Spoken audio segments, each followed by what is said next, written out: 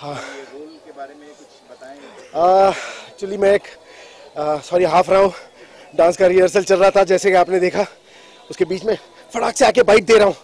हाँ आ, क जो फ़िल्म है ट्वेंटी फ़र्स्ट सेंचुरी क ख ग ट्वेंटी फ़र्स्ट सेंचुरी इसमें मैं एक आ, एक ऐसे रेस्टोरेंट ओनर का रोल अदा कर रहा हूँ जो बहुत सख्त है हमेशा की तरह।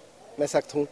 और जो बहुत प्यार भी करता है छोटे बच्चों से प्यार करता है जिसे जो चाहता है कि आज के बच्चे पढ़ें ताकि कल का हमारा फ्यूचर सिक्योर हो, हमारा हमारा फ्यूचर ब्राइट हो। और उसी के लिए वो सब कुछ करता है और जो एक छोटा सा बच्चा होता है, उसने गोद भी नहीं लिया होता, उसने वो उसे पाल पोस कर बड़ा करता है और किस तरह से वो बच्चा बड़ा होकर अपने